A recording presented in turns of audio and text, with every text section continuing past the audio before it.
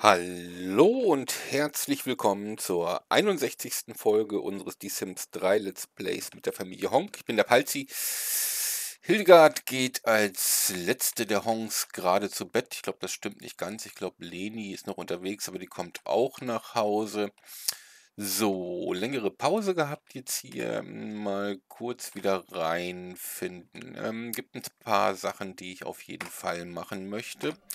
Das ist mir aufgefallen beim Review der letzten Folgen. Als erstes will ich diesen Chill-Out-Kühlschrank loswerden. Ähm, dann können wir den Futternapf nämlich nach da stellen. Ähm, die, den Stuhl hätte ich gerne irgendwo nach da. Ich stelle ihn erstmal kurz da ab. Dann kann die Kiste nach da. Und wenn wir hier drehen, dann passt der Schaukelstuhl schön dahin. Dann steht er hier nicht im Weg, so halb vor dem Badezimmer. Mm, das war das. Und das andere war, ähm, ich bin nicht ganz zufrieden damit, dass äh, Hilde so weit latschen muss, um zum Herd zu kommen. Denn sie ist ja die Person, die halt hauptsächlich kocht. Das heißt, wir stellen den Herd dahin, dementsprechend packen wir den Brandmelder dahin und können dann auch die zwei ein bisschen verrücken. Dann sieht es halt wieder halbwegs aus. Äh, die Kaffeemaschine könnte man nicht sogar in die Ecke stellen. Dann haben wir hier mehr Freifläche. Mm, unter Umständen könnten wir noch eine Mikrowelle anschaffen, denn das fehlt ja noch damit sie mal Hot Dogs machen können. Aber Hand aufs Herz, hat jemand von euch schon mal Würstchen in der Mikrowelle warm gemacht? Also da tendiere ich eher zu einem Grill. Wir haben im Sommer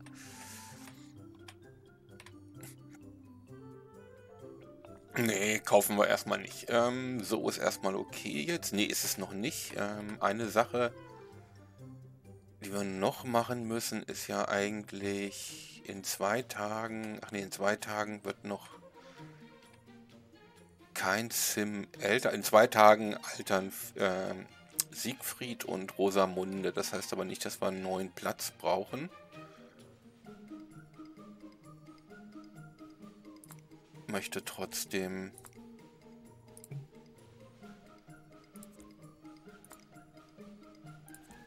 die Stühle da kurz mal beiseite stellen. Den Tisch müssen wir ja nicht unbedingt loswerden.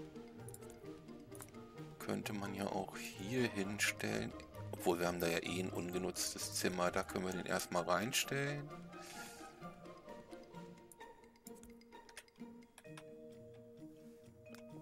Und uns dann noch einen schönen neuen Esszimmertisch kaufen. Mit einer Länge von drei.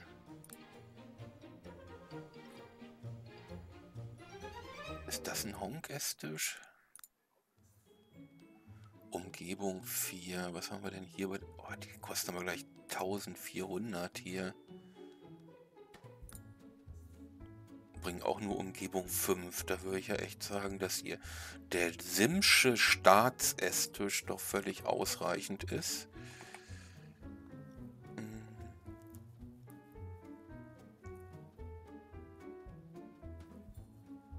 Hier vielleicht. Und dann natürlich nicht Anstrich. So was gibt es bei Horst nicht.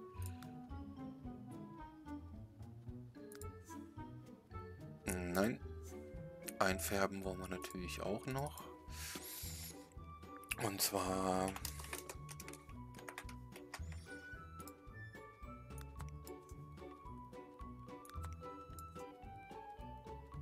Ja, das ist doch ein schöner Esstisch für die Hongs. Zukunftssicher, dann können wir jetzt die Stühle auch wieder ranstellen.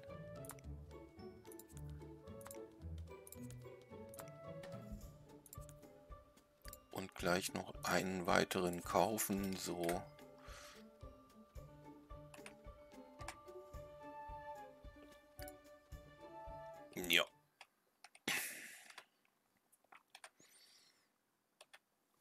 Wirklich der beste Tisch? Jetzt habe ich vielleicht ein bisschen...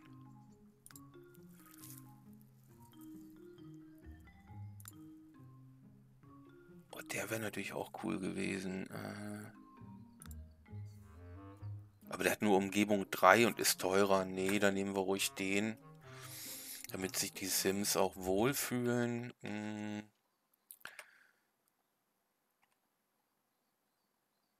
Hier bin ich aber im Überlegen, ob ich das Bücherregal nicht einen höher stelle.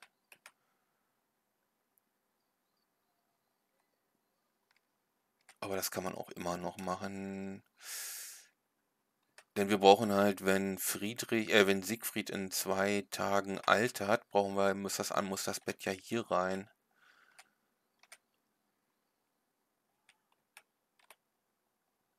Das heißt, wir müssen hier irgendwie ein bisschen Platz schaffen. Und wenn wir jetzt eh schon dabei sind, dann...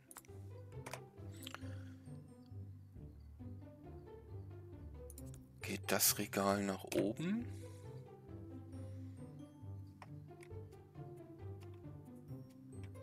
Spielzeugkiste, Puppenhaus ist okay.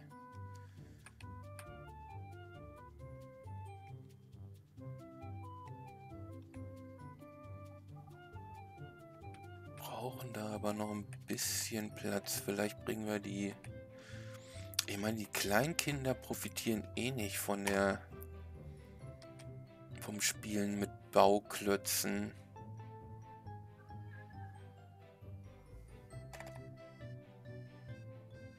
bringen wir das Ding noch nach oben.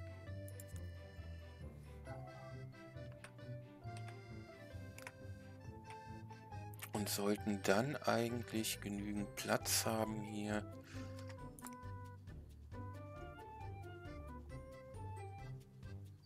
Können wir das nach da bringen? Dann können wir, kann man da zu zweit dran spielen. Die Kiste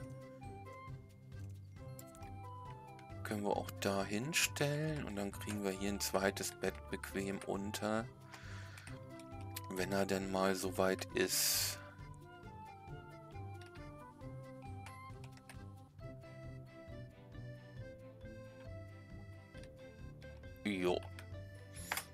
Dann können wir auch endlich laufen lassen. Hilde geht zu Bett. Wo bist du gerade? Du willst dich auf jeden Fall ausruhen irgendwo. Wahrscheinlich geht sie wieder aufs Sofa, ne? Ja, scheint ja doch ihr Lieblingsplatz zu sein. So, wer ist jetzt noch wach? Siggi. Ja, dann lassen wir laufen.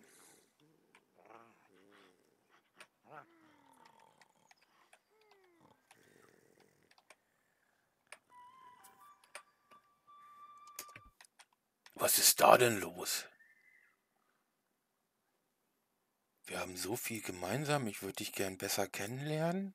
Du hast doch einen festen Freund, den wir auch noch mal einladen wollten. Und wer ist er? Jefferson Alto. Uiuiuiui, ui, ui. die Altos haben natürlich richtig Geld. Vielleicht müssen wir ihr doch noch... Ach so, was ich auch noch auf meinem Notizzettel hatte, war... Doch noch mal kurz rein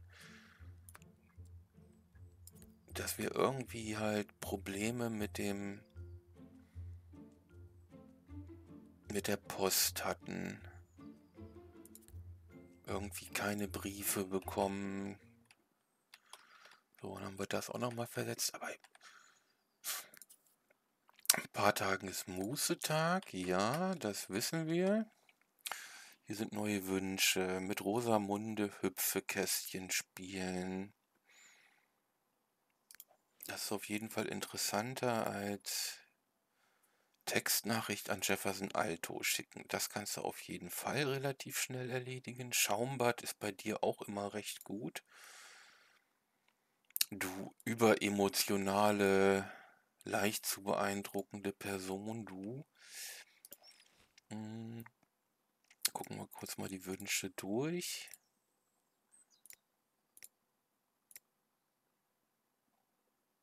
Rosamunde wird erfolgreich älter. Das ist in zwei Tagen der Fall. Obwohl, jetzt sind wir nach Mitternacht. Jetzt ist es nur noch ein Tag. Lock das mal ein.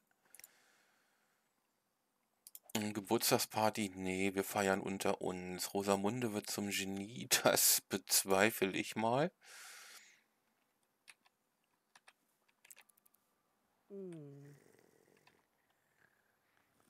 Und dann sollten wir natürlich gucken, wie es aussieht, sobald die wach werden. Du musst nur auf Toilette. Das kannst du unten erledigen als erstes. Die junge Dame hatte noch geduscht, könnte dann aber auch eine Toilette benutzen. Wie sieht's bei dir aus? Dich sollten wir besser duschen schicken. Das kannst du aber oben erledigen.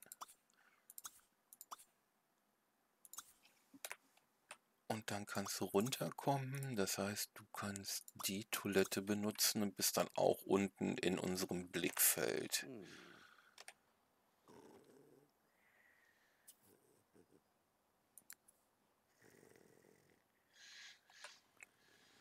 Ja, eine ruhige Nacht, bis auf die Tatsache, dass Siggi sich vernachlässigt fühlt langsam.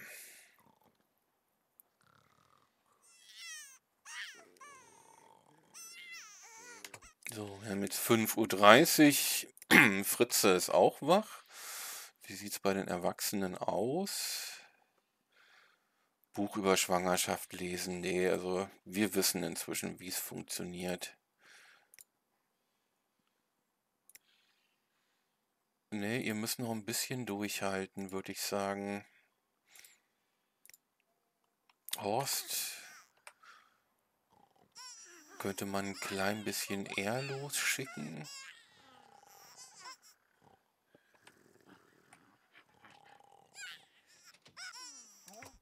Jetzt ist 6 Uhr durch. Ausgeschlafen ist er noch nicht, aber die waren zuletzt eh immer relativ spät dran.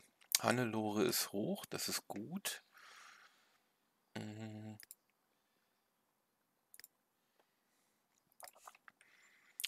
Horst.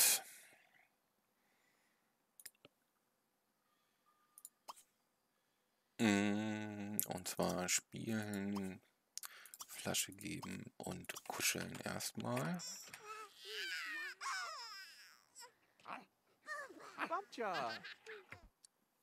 Horst würde gerne den Kochkanal einschalten. Wir haben jetzt aber überhaupt nichts mehr frei. Und die Wünsche bringen alle ordentlich. Und einen Tag werden wir wohl durchhalten, ohne ihm irgendwie Kleinigkeiten zu erfüllen, denke ich. Das müssten wir am Liebestag oder Muße, nee, Mußetag erledigen können, mit dem Fahren beibringen. Da waren wir ja auch schon relativ weit. Nee, dann nicht Kochkanal, Horst. So. Du kannst jetzt aber auch aufstehen. Outfit auf Alltag wechseln, bisschen kitzeln, bisschen kuscheln. Oh. Oh.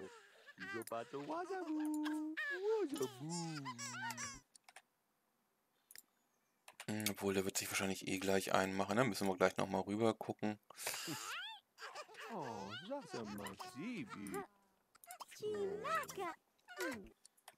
so, da kommen die ersten Hongs jetzt. Hm, du brauchst auf jeden Fall Spaß, aber du wolltest auch eine Textnachricht schicken an Jefferson Alto. Dann erledigen wir doch das als erstes Mal. Wie sieht es eigentlich aus bei den Lebenszeitbelohnungen? Hervorragend. Gucken wir mal von unten durch.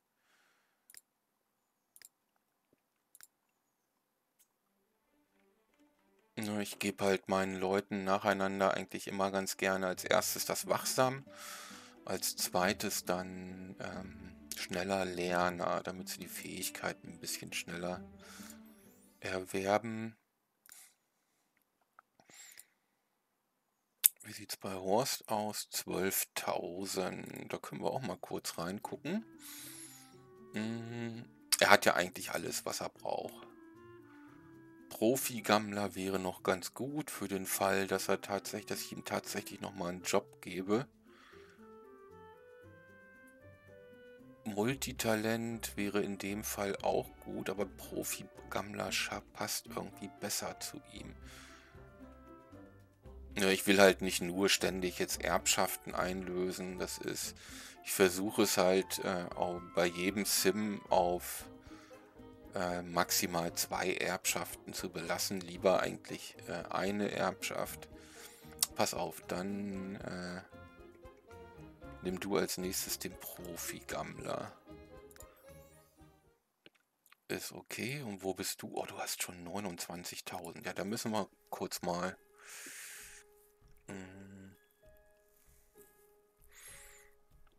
Du hast ja aufgrund deiner Schüchternheit noch nicht so viele Bekannte und Volker meinte entfernte Freunde oder irgendwie sowas. Jetzt muss ich mal durchgucken. weit entfernte Freundin.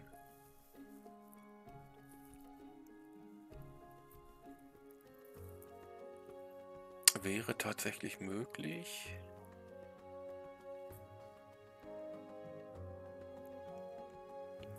Aber haben wir hier noch irgendwie etwas? Weiße Weste braucht sie nicht. Hilde ist eh. Das gab es ja irgendwie die Errungenschaft ewig treu. Ist das nicht das da? Genau, ewig treu, das haben sie beide bekommen.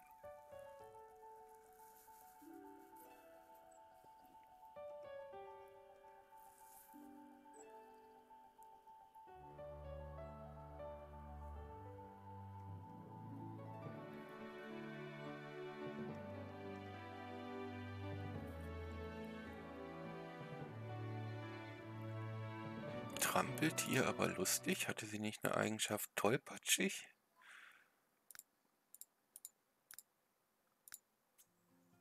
Wäre...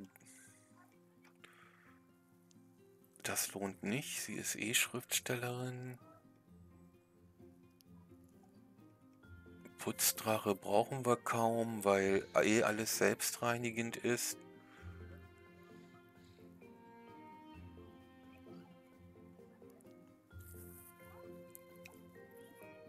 Reich belohnt sehe ich nicht, weil wir kaum Gelegenheiten bekommen.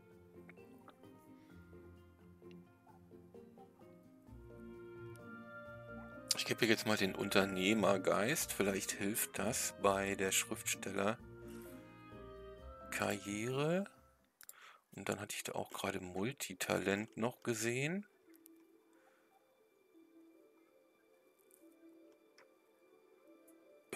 Sie ist sowieso Multitalent. Was sie alles gestemmt bekommt, also Hilde ist die Beste. Multitalent. Gut, dann hätten wir das auch erledigt. Und du, Juteste. Hm. Was gibt's denn noch an Resten?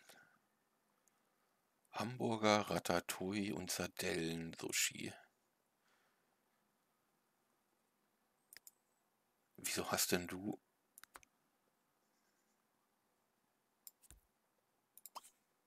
Nee, mit Control... Shift-Klick, Objekt löschen. Wieso hast denn du... Wahrscheinlich, weil sie Beziehung zu ihm hatte schon, ne?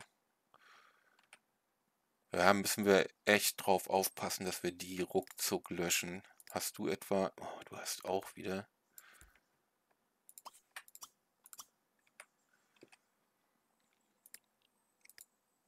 den imaginären Freund. So, aber... Äh, nö, kochen brauchst du nicht. Eigentlich brauchst du eher noch ein bisschen Spaß. Dann, komm, hau dir einen Hamburger rein. Gut für die Figur morgens. Der Rest muss ja eh noch runterkommen. Du schreibst jetzt als erstes kurz deine SMS da. So, Horst, du kannst das Ding dann mal leeren. Der Herr hat sich inzwischen eingemacht.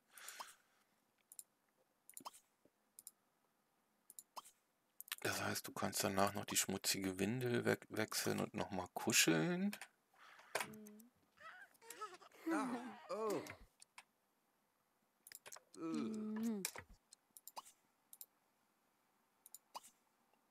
Du kannst ihn auf dem Boden füttern. Eine Wippe kaufen wir nicht. Leni Honk ausführen ist auch nicht.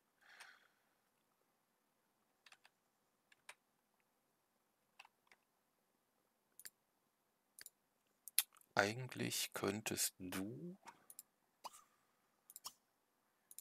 dein Alltagsoutfit anziehen.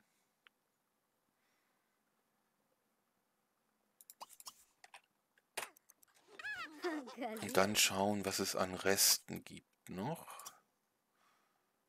Hm, isst du mal die Ratatouille.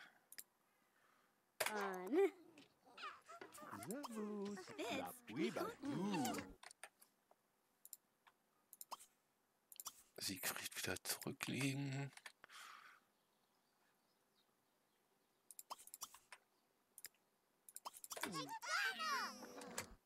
Rosamunde, ja, die war sehr spät in der letzten Folge. Die hat ihre Hausaufgaben so ultra lange noch gemacht. Ähm, komm einfach mal runter. Toilette kannst du gegebenenfalls auch in der Schule erledigen. So, Horst. Horst drückt sich auch in Hamburger, ups, in den Hamburger rein.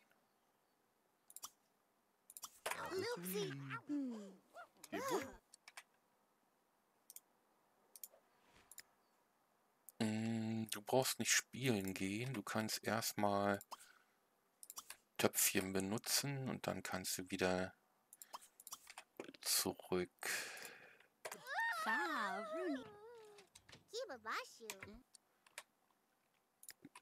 Du magst sowieso keine Hamburger ist dann mal Sushi. Sushi. Ja, Sushi ist gut. Man weiß nie, ob man nicht in Fernost einen Verwundeten finden kann. Und wenn man dann in der Lage ist, diesen Fraß zu genießen, oder zumindest so tun, so zu tun, als ob, dann kann das hilfreich sein. Da gibt es irgendwie schon wieder Behinderungen. Du kannst dir einen Hamburger vor der Schule reinziehen. Und du, Horst, hörst auf, dich aufzuregen. Und isst deinen Hamburger jetzt. Mm, da hupt, glaube ich, schon der Schulbus, ne? Ja, du kannst los. Ah, Mieter. Mm, mm, mm, mm.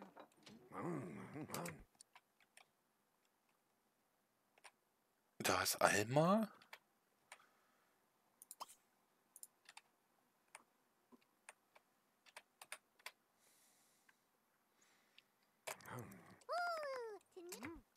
Hm, Hilde, hör mal auf, das Zeugs wegzustellen. Ja, im Stehen essen. Sushi im Stehen essen ist die Kunst. Wer das beherrscht, beherrscht die Welt. Ähm, was machen wir mit Hilde dann? Äh, Tauziehen mit Leni spielen möchte. Möchte sie? Wo ist Leni denn gerade? Ach, die frisst. Das ist gut. Dann...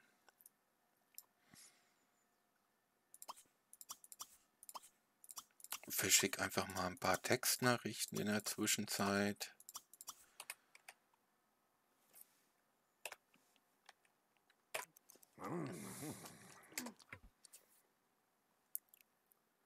So, Horst, was hast du vor? Ähm, wir hatten noch Dinge zu verbessern, da bin ich mir relativ sicher. Das ist erst 42%. Die Toilette war neu, das passt aber.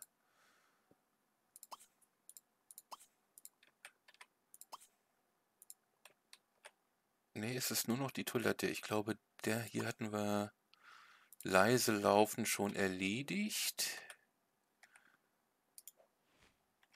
Aber im Moment ist da eh noch besetzt. Dann Horst. Darfst du auch noch mal die Leute, denen du noch nicht befreundet bist, ein wenig Liebe zukommen lassen.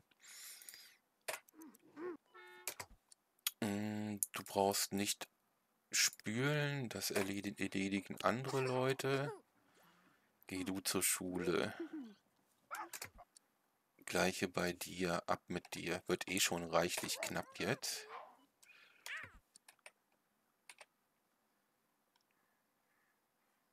Im Ozean spielen. Auf einen Ausflug könnten wir auch mal machen. Geschirr spielen. Er wünscht sich Geschirr zu spülen.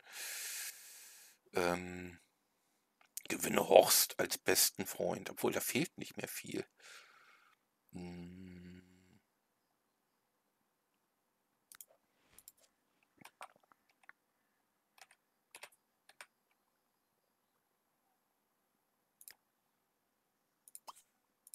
Du kannst danach aufräumen. Horst wird lieber das Alltagsoutfit anziehen und dann mal die Post nehmen. Kann dann wieder reinkommen und das Upgrade durchziehen.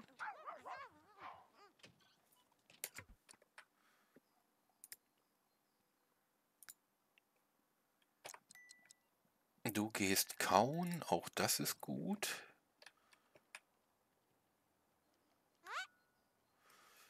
Hat Hilde nämlich hier Ruhe. Upsi, das wollte ich gar nicht. Ähm, durchschnittlich lernen? Nee, hart arbeiten ist nicht. Du hast eh nicht so viel Spaß. Mit Freunden sprechen.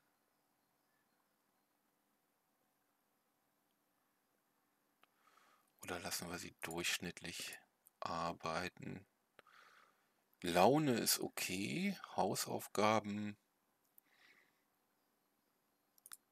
Hier unsere überemotionale Dame, die kann mal ein bisschen mit den Freunden sprechen. Du kannst durchschnittlich arbeiten, das ist... Obwohl sie steht schon auf sehr gut. Aber sie will auf die Liste der besten Studenten kommen. Dann lassen wir es auf durchschnittlich arbeiten und bei ihm...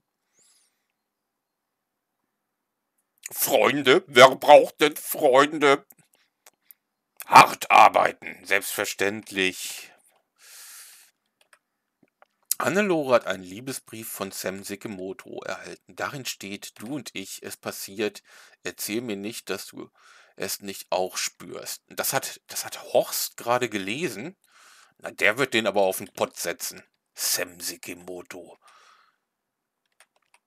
Der wird was spüren, aber gewaltig. Vielleicht sollten wir Horst doch mal... Nee, der muss jetzt erstmal das letzte Upgrade da machen, aber dann könnten wir ihn tatsächlich nochmal ins Fitnessstudio schicken, damit er ein bisschen Krafttraining macht. Denn ich habe überlegt, also für Horst gibt es ja eigentlich zwei Karrieren. Einmal die zu Hause, dass er irgendwie als Erfinder, Erfinder hier irgendwie rumbastelt. Oder als Notlösung. Ähm, Geschick hat er ja eh schon maximiert und ich glaube in der Militärkarriere brauchte man auch sehr viel Geschick. Hm, aber jetzt komm erstmal rein, Horst. kannst das da benutzen, das leeren und dann wirst du das Upgrade machen.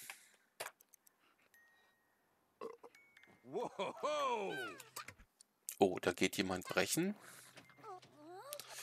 Ja, das war ja letzte Aktion in der letzten Folge. Du möchtest Tauziehen spielen? Hm.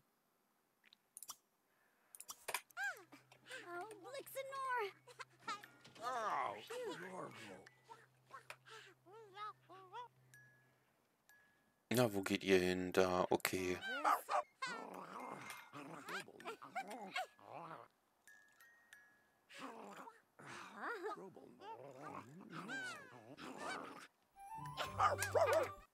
Ja, und damit müsste Sozial bei dir auch wieder hoch sein, ne? Jemanden anbellen. Nee, das ist... Anbellen mag ich ja nicht. Ich mag nicht, wenn die Hunde so, so laut sind. Aber ein bisschen mehr sozial könntest du vertragen. Äh, Hilde, kümmere dich mal. Hm, gefuttert hat sie gerade. Ähm, loben für nicht zerstörerisch sein. Zuneigung streicheln und dann Pflegebürsten.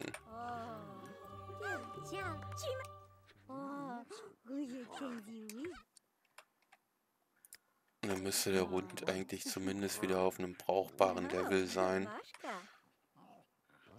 was die soziale Interaktion angeht. Und dann kannst du, liebe Hilde, nämlich auch an deinem Roman weiterschreiben.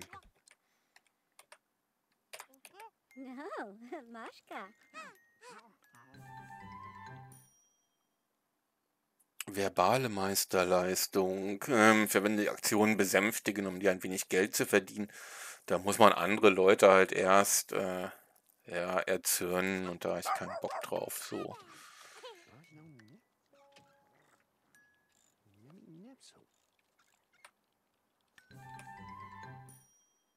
Verbessere deine Schreibfähigkeiten und kehre zur Schule zurück, um deine schulische Leistung zu verbessern. Das können wir annehmen.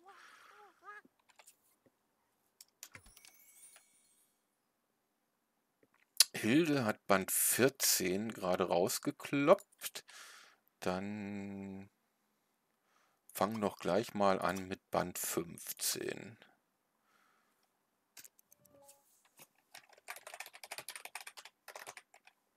Hildegard.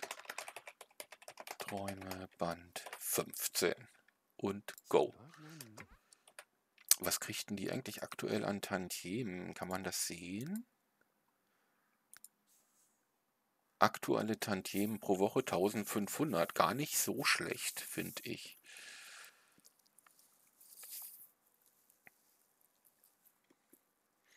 Insgesamt verdient 5300. Jo, jo, jo, passt schon. Und äh, mit dem Beginn des Schreibens an Hildegards äh, 15. Band äh, endet dann auch diese Folge, von der ich hoffe, dass sie euch gefallen hat, euch auch das nächste Mal wieder mit dabei sein lässt, was mich sehr freuen würde. Genauso würde mich natürlich freuen, wenn ihr dran denkt, ein Like und gegebenenfalls ein Abo dazulassen. Macht's gut, euer Palzi.